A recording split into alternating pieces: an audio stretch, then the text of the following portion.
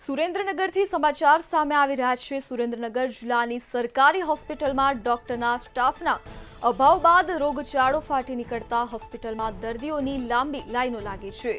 લીંબડી, વઢવાણ અને ચૂડા સહિતની સરકારી હોસ્પિટલમાં દર્દીઓની લાંબી કતારો લાગી છે. તો મલેરિયા, તાવ, શરદી અને કોલેરા જેવા રોગચાળાએ ઉછાળો માર્યો છે. સરકારી હોસ્પિટલમાં વહેલી સવારથી જ દર્દીઓની લાંબી લાઈનો લાગી છે. તો વરસાદના વિરામ બાદ સુરેન્દ્રનગર જિલ્લામાં ખુલ્લા કોમન પ્લોટ અને ખુલ્લી જગ્યાઓમાં વરસાદના પાણી ભરાવાને લઈને મચ્છરજન્ય રોગચાળાએ ઉછાળો માર્યો છે. સંવાદદાતા સચિન પીઠવા ફોનલાઈન પર જોડાઈ ગયા છે. જે સચિન, સુરેન્દ્રનગરમાં રોગચાળાએ ઉછાળો માર્યો છે, જેને લઈને હોસ્પિટલમાં દર્દીઓની લાંબી લાંબી કતારો જોવા મળી રહી છે. આ અંગે વિગત.